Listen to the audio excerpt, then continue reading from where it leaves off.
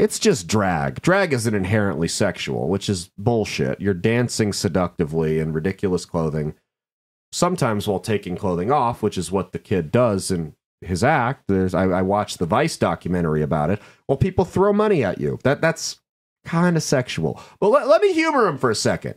Let's pretend it's not sexual, for argument's sake. Let's say that what the kid is doing is no different, like they like to say, than ballet or interpretive dance. So he's just gay, right?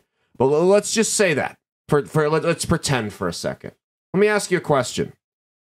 Would you be comfortable with adults who have no relation to the child? They're not the parent, they're not the, the, the uh, aunt or uncle, not a, a family friend, grandparent, nothing like that. Just random adults that wanted to hop in for fun. Would you be comfortable with those adults going and watching random children's ballet recitals? Or would you have some questions about them?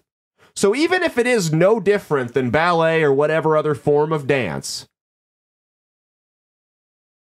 don't you think it's a little weird that random adults would go out of their way and pay money to see a kid dance, period?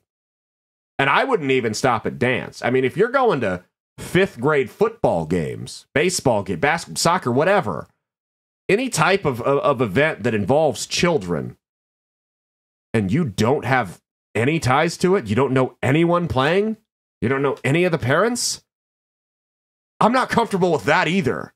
Stay the fuck away from people's kids. You want to watch a sport so bad? th- th- There's plenty you can watch on TV. There's high school, pro, college games all over the state. Go there. Stay the fuck away from people's kids.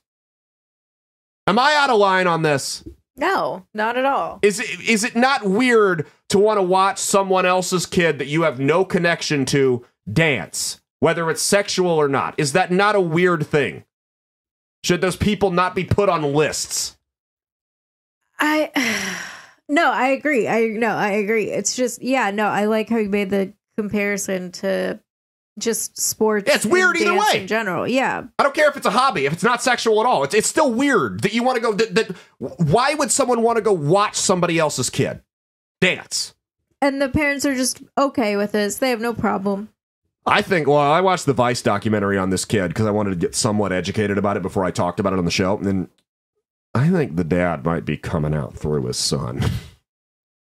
I think that that's my theory here, and I, I did watch it, and they were talking to the mom, and they showed the kid. It was like three at the time, three or four, drag, and was of course fascinated by it. It's loud music and crazy dancing and bright colors, like any three-year-old would be, right? Any kid would be Right. Yeah, By that.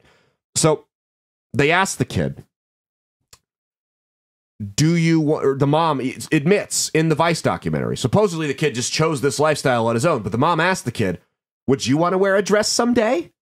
When you ask a fucking 3-year-old that question, what do you think they're they're going to say yes. Their parents asked them. I want to impress mom and dad. Of course I do. Could ask if he wanted to be a dinosaur and he'd say yes. Do you want to try crystal meth someday? Yeah. Well, yeah, and if it's something that he was intrigued by because of the Mhm. music and the lights and everything, then yeah, he's gonna want to. Yeah. He's gonna want to do that Yeah. because he's three. Yeah. he doesn't know any better. Yeah. I'll tell you, I remember when I was a kid, my mom asked me, because my cousin used to wrestle. My parents asked me, Do you want to wrestle? And I did not want to wrestle, but I said yes, because that's what my parents asked me if I wanted to do, and I fucking hated it.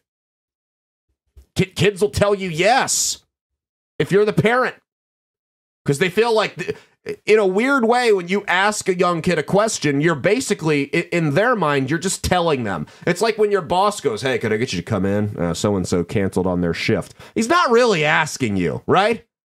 It's more or less like, Hey, come on in. Kind of the same thing.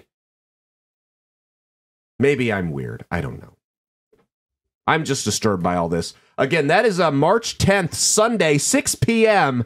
at the Urban Abbey Coffee Center in Omaha in the old market off 10th and Jackson Street. We might go down there and do some man on the street stuff. I just want to interview people, document. Should we go? We, I think we should. Would you Would you hold the camera? We'll see. I'm gonna need someone to. And we're gonna interview people. I mean, we might as well. What else are we gonna do on a Sunday?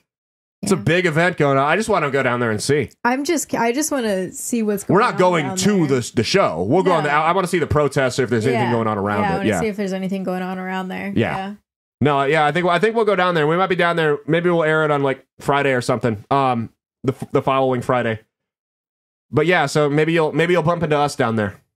Who knows? Hey, thanks for watching. If you liked what you saw, be sure to click the link in the description to get the full episode on Rumble. If you prefer to listen along, you can actually get us on Spotify, Spreaker, and iHeartRadio. You can also go to www.outlawstreamers.com to learn more about not just my show, but tons of other great shows and all the exciting projects they have coming up. Follow my socials at Caleb Isn't Funny on Twitter and Instagram, at Caleb Salvatore Comedy on the Chinese Spy app that is TikTok, and be sure to like and subscribe to this YouTube channel. Thanks, and we'll see you every Saturday for brand new episodes of That's Based. Peace.